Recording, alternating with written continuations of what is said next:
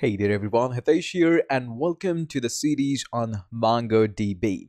First and foremost, Happy New Year and as a New Year gift, I would like to present you with this brand new series on our YouTube channel MongoDB. Now I can understand your situation. The moment you heard the word MongoDB, you directly want to install it and want to write some code and build something with that. I can understand that's all right. But before we get into the phase where we write some code, there are a lot of myths about MongoDB that we need to clear up. Of course, there are a lot of terminologies and there are some other frameworks as well that we will be using in the MongoDB course. So we're going to talk about all of them. Uh, just to give a few names of that like MongoDB, Mongoose, uh, these are going to be some things that we are going to be talking about. Don't worry if you don't know about anything because you don't need to know. It is a fresh new course, there are no prerequisite and we're gonna get started with that. So let's begin the course officially here. First and foremost, MongoDB. I know it's a database, you also know about it. And uh, here's my quick request with all of you. Some of you might be coming up from the background of MySQL database or MySQL. Please keep all the knowledge of MySQL aside and try to start everything from scratch here. I don't want you to bring anything and kind of indulge with here. I want you to come with open slate, empty slates, and just listen what I'm saying about MongoDB here. First myth about the MongoDB is MongoDB is just a database. No, it's not. MongoDB is also a company. The parent company is also known as with MongoDB, so there are a lot of things under the umbrella of MongoDB. The one we are talking about here is the database version of it, but in the upcoming videos, I'll introduce what are the other things that are being offered by MongoDB. So with that, Let's get started. So what is MongoDB? It's simply a database. It's not a relational database. It's NoSQL database. By the term NoSQL database, I don't mean to say that it's uh, not SQL. The NoSQL here simply means not only SQL database. It can perform a lot more than that. So it's simply a database uh, with a lot of things, a lot of pros and cons, just like everything in the world. So we're going to be talking about MongoDB in this course entirely up here. So let's go ahead and talk about it. First and foremost, let's clear the point why you want to use MongoDB. I'm not saying this is the world's best database because everything in the world has their own pros and cons, but this is one one can be a great choice. The first point here that I would like to put here is MongoDB stores data in flexible JSON-like document. Point your attention here. I'm saying JSON-like. I'm not saying exactly JSON when we'll move into the series on the part where I will discuss about IDs and object IDs, it will get more clear up that why I'm saying JSON-like. But for right now, let's just keep it, it's a JSON database. The thing why what makes everything so much easy with the JSON database is mapping of the object. Now, when you store anything into tables, rows, and column, accessing that data can be a little bit challenging and can be a costly process for your processor or maybe your database unit. But in the NoSQL, since everything is stored in a mapping of key value pair, that's why it is much more easier, faster, and everything is so easy and simple with that.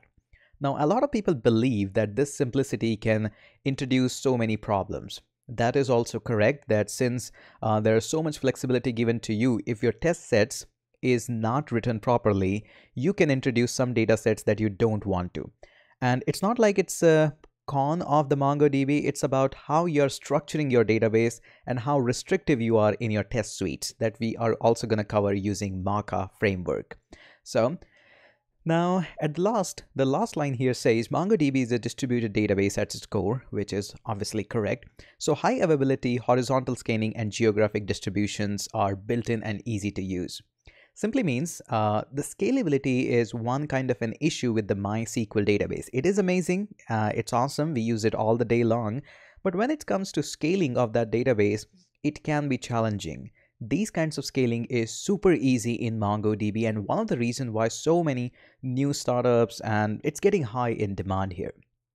Just to put an example, if you want to build an application which is using geospatial data, for example, a Tinder-like application where you want to see, hey, this is my geographic location and who are the other people near me in the location, doing that kind of thing with MySQL database is definitely one of the toughest thing. Surely doable, but one of the most trivial thing and toughest thing. That kind of thing, when we do in the MongoDB, it's amazingly simple. And also, since adding up the field and all these, changing the schema is so much easier in MongoDB, that's why it's one of the most preference thing. For example, you want to open up a simple e-commerce website, you have a set field, but later on you realize that this field or this laptop section should have one more section, like probably a spec section or maybe a processor section. That kind of thing requires a complete schema redesign in the MySQL, and hence comes the solution as MongoDB. Again, we are not putting up a debate here that which is best. It is MongoDB here for our series. Now, coming on to one more point, which is who is using MongoDB? And to be honest, the list is so big that I cannot even cover few of them. These are few that I have given in front of you. The reason of this screenshot here is just one guy on the very right hand side at the bottom, Royal Bank of Scotland. I have heard this so many times that MySQL is much more reliable than MongoDB, which is not at all perfectly correct. Surely both databases are reliable. That's why they are so much in the market. But a lot of people say that if you want to design something like uh, banks or any kind of databases related to totally bank, then you should always choose MySQL.